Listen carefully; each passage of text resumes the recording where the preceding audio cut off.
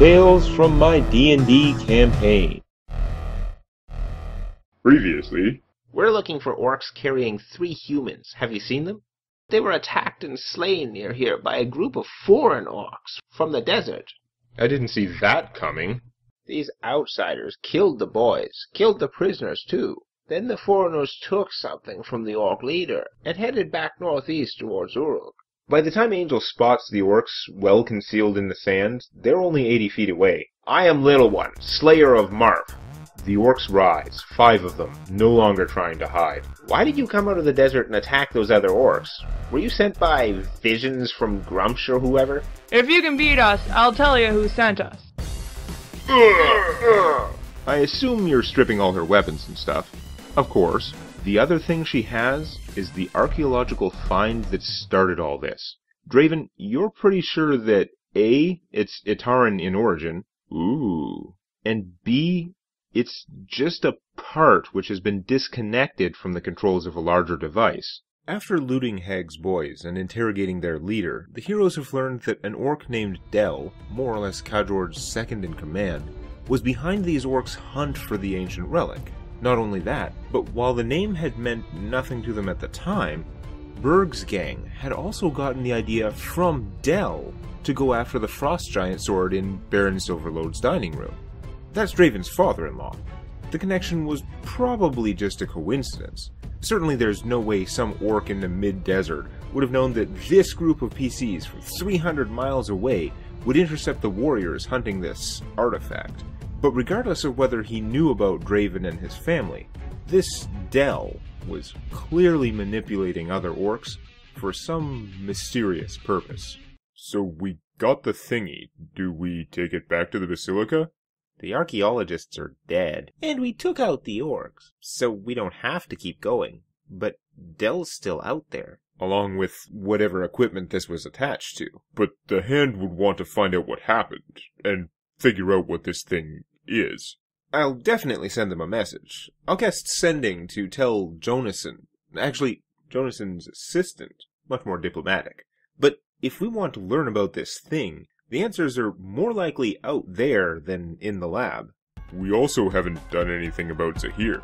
He's been gone a long time. We don't really have any leads on him, do we? Don't think so. I feel bad about what happened to Zahir, but we're out here now. So, do we know where this thing came from? Not exactly. Based on what Angel saw of the witness's memories, you could easily find the ruins of Courage, the village whose people once searched the desert for relics of the Shatter War and the Ancients. You know the archaeologists used that as a starting point when they headed into the desert, using some kind of search pattern, and probably a lot of luck, to find the site of the strange metal room the witness described. That is where they found this ancient Ataran machine part, which the orcs had been after. And it only took them a couple days? Well, it was more like a couple weeks, but since they were trying to search, the actual distance covered was probably smaller than it sounds. Still, replicating their path would be really hard. Except that Mora can cast Lay of the Land once a day. Lay of the Land is a powerful navigation spell which gives the caster a bird's eye view of the terrain in a 50 mile radius as though looking at a detailed map. She should be able to spot any unusual terrain feature with that, even a small cave mouth. So long as the entrance hasn't been well and deliberately hidden, there's a very good chance she will spot it. So we just have to get within 50 miles. That's huge. That's like a whole day's travel. Considerably more than a day's travel in the desert. Still, that spell makes this sound really viable. And I am very interested in the ruins where they found this. Interested on multiple levels. It's ancient. It seems to be a Taran. It may contain equipment or information I could use to help solve this astral plague thing. And the orcs seem to be looking for it. And the Kuo-toa. What Kuo-toa? At the other place, Ginneron. GE7 seemed to think Kua Commander knew about the portal. It may just have been that specific place, though. You really don't know. And you're pretty sure he died when he went down the drain, and astral and stuff. I think what we do is we go looking for the Ataran stuff. If we find Dell along the way, we'll mop him up. But he's not the priority. Priority is the Ataran stuff. Draven casts the spell Sending to update the Hand of Sirius, explaining that they killed the orcs, recovered the item, but no survivors, and they were investigating further. Then they start moving further east through the arid plains of Angor, hugging the edge of the northern mountain range while they assess their desert survival preparations. I did get Rainbow Dash one of our traveler's cloaks in her size. That provides water. I should point out that your cloaks protect against cold, but not heat. You may need other measures to help you deal with the temperatures. Huh? Those cloaks have endure elements. I remember you got them for some winter travel, and I'm pretty sure they only have the cold half of endure elements. Well, damn. Also, if you end up going further in, it can get very hot in a deep desert. Like, really hot. Like, sandstorm setting heat protection bands. It doesn't sound like you need to stray too far from the edges, but if you did, you can get to places so hot that the spell Endure Elements and similar effects only help a bit, rather than fully protecting you. But Endure Elements says Endure Elements has a temperature range. I'm saying I borrowed some rules from a desert setting book called Sandstorm, where heat in certain places can be so extreme that even fire immune creatures might have to limit their exposure. Though again, I don't expect you have to worry about that anytime soon. But if you go deeper into Urruk, you may need endure elements just to improve conditions up to regular heat exhaustion. Man, there must be good shit to fight in the deep desert.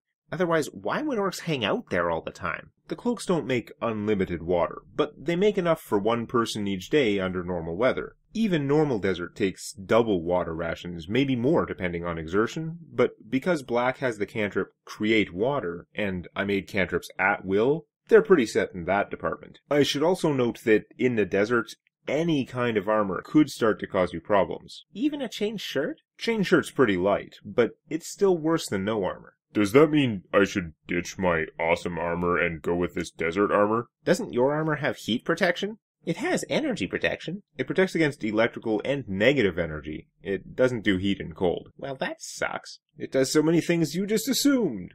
You know, I don't technically have to wear my armor. It takes a couple seconds to put on. That's right. Your mechanized plate only takes one round to don. That's some Iron Man shit. Mine's a standard action. My armor and my weapon are stored in the Ring of Arming. What's awesome is I can wear a chain shirt while walking around, then switch that quickly to my Dragon Scale plate. Is there any way I can mess with you? Like, store something else in there? When I use it, it puts on whatever's in the ring. Like a thong? That'd be awesome. But then I'd have to kill you. They help Black put some straps on his folded up armor so he can carry it like a backpack. I'm so white under here. Everyone's like, oh my god, there's a guy under there. We were starting to think you were Warforged. I'll take off my chain shirt and cast Mage Armor. It's one hour per caster level, long enough for daytime stuff. That'll make it a lot easier, for sure. And Mora's going to switch her armor for one of those orcish breastplates. She's an Aventi, an aquatic race. She could use the extra protection against heat and dryness. Yeah, it's a good thing you guys have infinite water, because she's using even more than the rest of you. What about our horse? Can she move okay in the sand? Rainbow Dash is actually not that badly adapted, even though she's not from a desert environment. Her feet are so big that the extra surface area helps her to sink in less than her weight would imply. Draven, can you give her flying? Yes, for specific problems, but not long enough for general travel. What you really need is some item to give her overland flight, which lasts in hours. When they reach the wind-carved formation known as the Dragon Rocks, the land is transitioning into endless waves of sand. From here, they pivot northward, continuing to follow the mountains along the edge of the desert. They spot some camels moving across the blasted landscape, and they are attacked once by big lizards, about Komodo dragon size. The lizards are literally no threat to such powerful adventurers, and after butchering one batch, future lizards seem to keep their distance. Mostly. About the third day after turning left, you spot some griffins flying over the mountains. They're so far off you can see them just enough to tell they aren't birds. Ah, if I didn't have Rainbow Dash, we could get us some griffins. I like griffins. Your problem is you like everything. You just want to recruit everything. Damn right. You actually shouldn't be playing D&D. You should be playing Pokemon. Gotta catch 'em all. Rainbow Dash, I choose you! Soon, about a week after the fight with Hag's orc band, they discover the ruined, once hidden village of Courage. Zahir's childhood home. It was destroyed over a decade ago when the orcs finally found it, but it's the key starting point for retracing the steps of the archaeologists. From there, they head into the desert proper, with Mora using Lay of the Land daily to look for anything that might be a dig site or cave entrance. It takes days and days of traveling, but it's not that bad. There's actually more wildlife than you normally think of in a desert. Snakes and beetles. It's when you look every direction and see nothing. That's what I don't like. As long as we're near mountains, it's fine. Oh, and giant scorpions. Well, you don't see any scorpions that you have to worry about. The biggest you see is about hand size. It's the little ones you have to worry about. Yeah, the little ones will kill you. The smaller the claws, the deadlier the poison. As the mountains behind them grow smaller, the temperatures climb to the point that the noon peak threatened to exceed the 140 Fahrenheit, 60 degrees Celsius maximum of the Endure Element spell, which only Draven had actually cast. They decide it's time to switch to traveling at night. Draven's goggles now grant dark vision, but Black, with his unaided human eyes, still needs light to see, so he activates the gleaming beacon of his mace. No, put that out! That's going to be visible for miles around. If you want that thing on, the rest of us should all move a hundred feet to the right. Adopt plan, anglerfish. For moving in the dark, we could tie a leash around you. There aren't any roots or anything to stumble over. I've got news for you. Mora's in the same boat. Aw, man. Mora also has a whole bunch of penalties from the breastplate of the desert since she isn't actually proficient with medium armor. But that probably only matters if they're in combat. The new moon provides little light, but since they're riding a platform on a huge animal, Mora and Black can actually get by pretty well without seeing, until they encounter anything. Then they encounter anything. Draven, what you see is basically worm sign. What? There's a large mound of sand moving towards you. Something big is below the surface. Shai-Hulud? I sure hope not. Well, it's plowing through the sand, heading for you. Presumably the sand is also offering some kind of protection. I jump down, extend my spear, and ready for a charge. Mirror image. Haste. I give us all my deflection bonus to AC. Whatever it is, it actually slows down and doesn't charge. Instead, a very large thing shoots up out of the ground, much larger than you expected. It rears back and strikes down at little one. Hits AC 25. AC 30. Isn't it higher than that, with Draven giving you plus 4? I don't have my shield. Black jumps off the horse and uses Knight's move to teleport into position behind the monster, while Angel runs over but misses her attack. I activate my Burning Blade maneuver, hit three times, take 89 damage total. It resists a chunk of each hit, but takes most of the damage. Notably, it doesn't specifically resist the fire. Mora misses, and Draven deals 25 fire damage from one of his wands, but even that damage is reduced a little. Huh? It has gargantuan creature damage reduction. By the way, for those of you standing on the ground, it's coming up. This was just a fail. Oh, that makes a lot more sense. That's awesome. And bad. Angel and Black are knocked off its back with a reflex save to regain their footing. I'm prone. It's a reflex save. Everyone on the ground somehow passes the save, so only Black actually fell as the massive scorpion surfaces, with sand pouring down between its huge armor plates.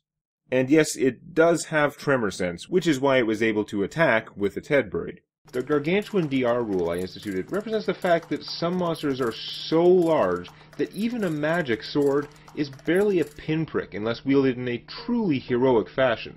And while an army of a hundred archers might take down most huge, like elephant-sized monsters, at a certain point, even without unholy power or skin made of rock, a creature is simply so large that their arrows or bolts or even spears would never defeat it.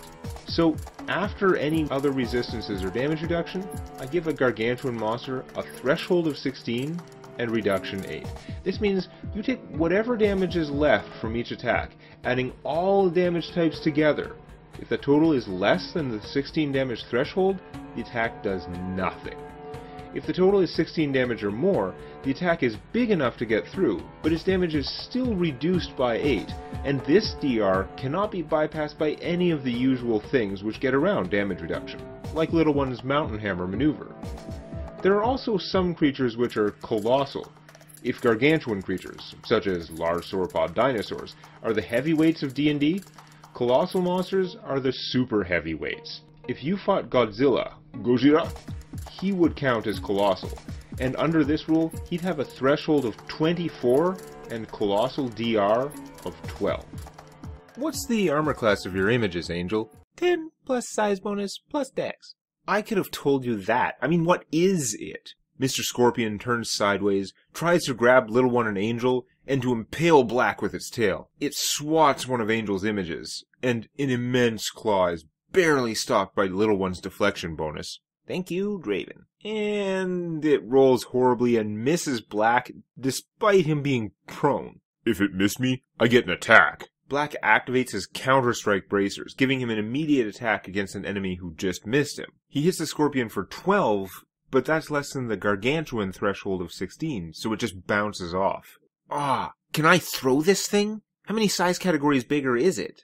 Let's see, it goes medium, large, huge, Gargantuan. Oh man, you have to fell the greatest foe me. So much damage. Hmm, so it has plus 12 on the opposed check if I try to throw it. Black has to stand up, so he only gets one attack, but he scores a critical hit. I'd better make it count. Take 32. It resists some, obviously, but minus 8, that's still 24 damage to the gargantuan scorpion. Flanking the arachnid, Angel sneak attacks for 24, enough that most of her damage gets through. Then Little One takes a spear in both hands and hits it with Elder Mountain Hammer. Normally, all the Mountain Hammer maneuvers ignore damage reduction, but this doesn't get around my special Giant Monster DR. Despite that, it was still a 45 damage hit, and Mr. Scorpion is finally bloodied. The massive arachnid lets out a high-pitched shriek, followed by a wave of subsonic vibrations which liquefy the sand for a second. It's basically diving under, but everyone needs to make a reflex save to avoid being dragged down by the temporary quicksand-like effect, and have to spend an action to dig yourself out. Really? Reflex? Do I get an attack of opportunity? I will say yes, only because with your stance, you are basically ignoring the effects of the sandquake. Then I hit for 20. Is my head at least above the surface? Yeah, you're only pulled down a couple feet. Black gets sucked down and spends the next round digging himself out, but otherwise they have no target to attack, so they spend a round buffing and healing, and it still hasn't shown up. I want it to come back. I'd be happy to never see it again. It's gonna come back eventually. Maybe not. It's like an animal, right? It's injured. It's gonna come back. I want it to. One, I'd like to finish it off because, well, we started fighting it. Two, it's huge, it's under our feet, and has a poisonous spine. I'd like it dead. And three, it scares the shit out of me. I'd like it dead. I changed stance. Can I smell it out? Well, it definitely smells like a giant scorpion. It's down there, but you aren't yet able to pinpoint it underground. Or is it so big that it's all around you? Can I stab it through the ground? You can try. It must be pretty deep, though, since you can't see a bulge in the sand. Is there any rock we can get up on? There's one of those tall bumper-like rocks just off the battle map, but it would be a pain in the ass to climb. It's concave underneath, and the top is 20 feet up. I cast Fell the Greatest Foe on Angel. I'll stab into the ground looking for it again. Wait. First, its turn comes up again, and so does it. Now, what to do? Is it gonna go for the horse? Not the horse! If it eats the horse, I'm killing it with my bare hands. It's surfacing like a whale, trying to land on top of you guys. What? Come on! The pincers rise out of the ground, spraying sand all over, massive plates and tons of muscle launching upward. Shouldn't Rainbow Dash get an attack of opportunity as it's coming up? Eh... Rainbow Dash is running away. She could kick and run. Is it coming down on me? Sadly, no. Aww. As big as it is, it's not quite big enough to hit everyone it wants to. You still need to make a reflex save to not get knocked down by the sand wave. I get, uh, 21. Well, okay then. It looks like you. Uh... No, wait. It's plus. No, I get 19. Then you get knocked down. Sorry. 20 was the number. You need a flipper on your back, like a battle bot, so you can right yourself. You get right on that. Everyone in the landing zone manages to save, avoiding severe damage. but anyone else on the ground fail to save, being knocked prone. Mr. Scorpion claws Rainbow Dash, Well, of us all, Rainbow Dash has the most hit points. She can take a few hits. and I'm gonna say she's too big for improved grab, though it probably could. Then, possible crit on black. 32 to confirm? Nope. AC 33. Okay, no crit, but now make an opposed grapple check. You need to roll a 20, unless it rolls a 1. Okay. Black has a grapple bonus too. He probably has a pretty big grapple check, but it has plus 37. Black does not roll the 18 or whatever he needs to have a chance, and is caught in a massive claw, unable to move and taking an extra 14 damage from being crushed. That all count as one attack? Um, yeah, it's really all one attack. Might as well, because I'm stuck in its claw. Black triggers his retributive amulet and deals half the damage back to the scorpion. And the damage is really starting to add up, even against this mountain of hit points. Could be worse. Good thing it didn't grab you before diving. Oh man. Water breathing wouldn't help against that. And it hits Angel with its massive poisonous tail. Roll for mirror image? And it hits a fake Angel with its massive poisonous tail. Good thing I cast that. Ah, screw it. I'll call out for Rainbow Dash to just full attack it. She should turn sideways, give it like a broadside kick. Could she trample it? No, you can only trample things that are smaller. You have to be big enough to completely cover whatever it is. Rainbow Dash hits all three times, and each hit does at least a little damage through the supersized DR. Then it's Black's turn again. So I need to get out. The way I'm running Grapple, you aren't pinned and doomed forever. You'll automatically be released on its turn. That's why I apply the constrict damage right away. Ah. So you're immobilized through your turn, but unless it hits you again, you'll be free the following turn.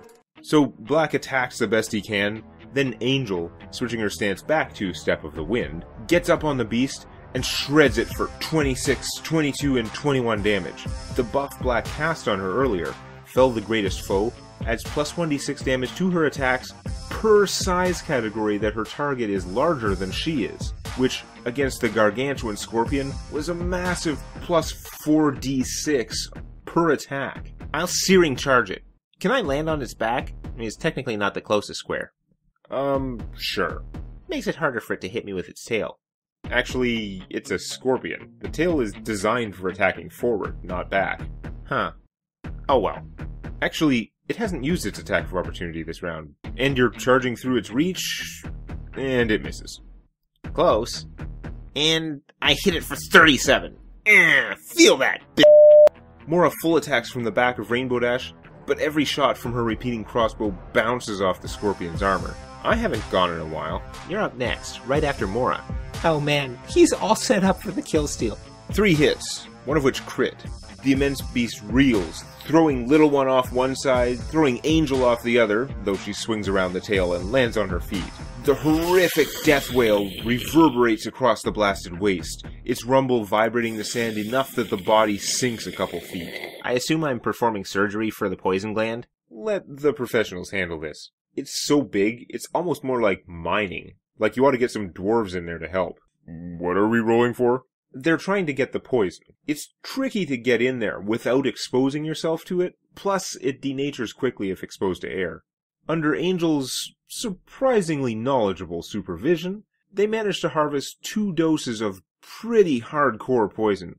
Fort save difficulty 25, and it deals 1d8 constitution damage. D8 damage to a character attribute is huge, and because it's con, it can result in a loss of as much as 4 hit points per level of the victim. Apart from the poison, it looked like some of the scorpion's chitinous plates could be used to make non-metal full plate, but nobody needs it. A scorpion plate shield would be lighter than a metal one, but provides no actual bonuses. Nevertheless, it seems like something cool. It, it feels a little bit like taking down a dragon, if a relatively easy one. So they set about harvesting what they can.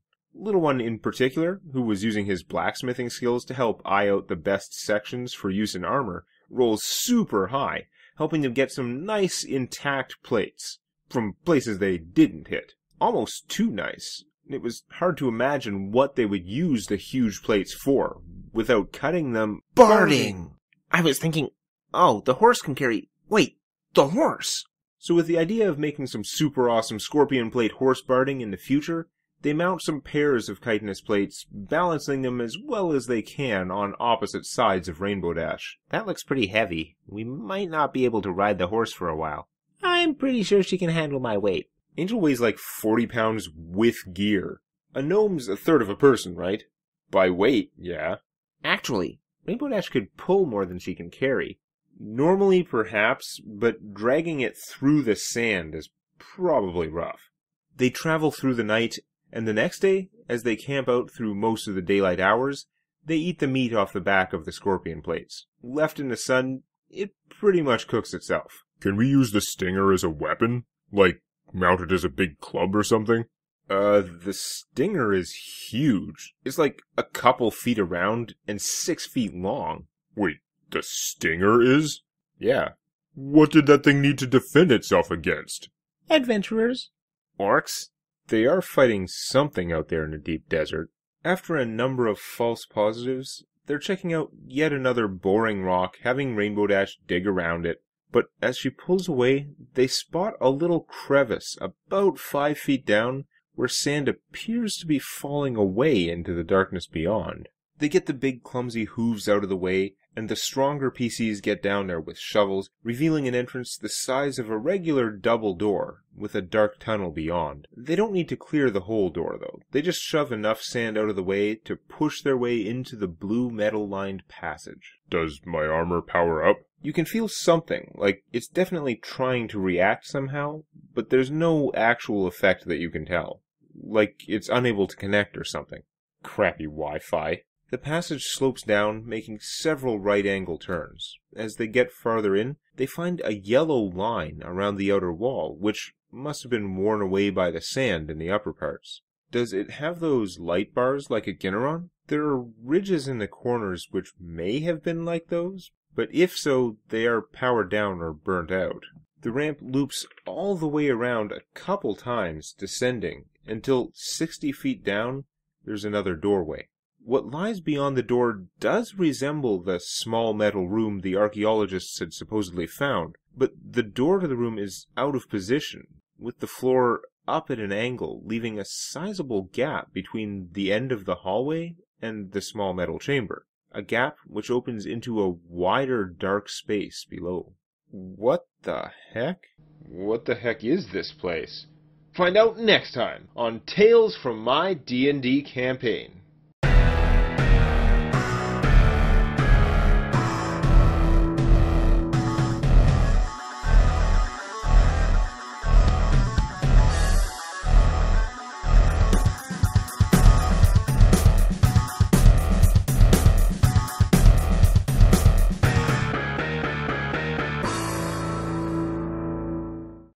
Plan is to finish the magic item quest. If we run into Dell on the way, great, but otherwise, he's not our number one priority. High, but not number one.